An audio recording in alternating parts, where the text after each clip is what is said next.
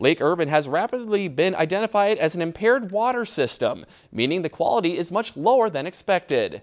As Mel Meyer reports, the Minnesota Environmental Pollution Control Agency is wrapping up a study on how to reduce pollutants and unwanted, unwanted nutrients, which harms our water sources.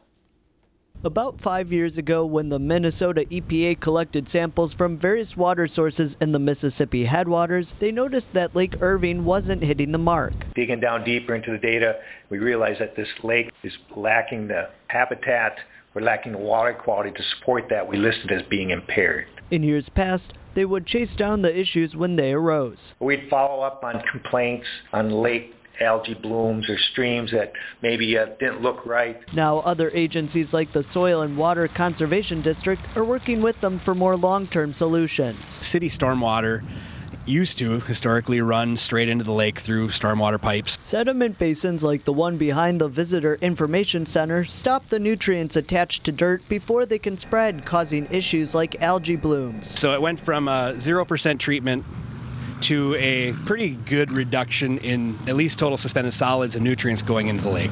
The SWCD could implement a similar project in Lake Irving. The Watershed Restoration and Protection Strategy report being prepared by the state's Pollution Control Agency will determine how to address the root of the problems. We submitted it to EPA and we got their comments back here earlier this summer and we're working on addressing their comments.